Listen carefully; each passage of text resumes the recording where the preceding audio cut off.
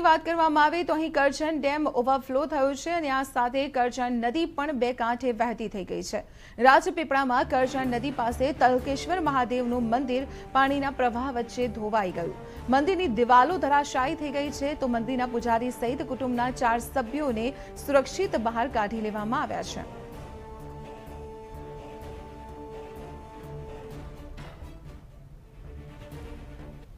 તો આ હતા અત્યાર સુધીના સમાચાર. વધુ સમાચાર માટે આપ જોતા રહો ટીવી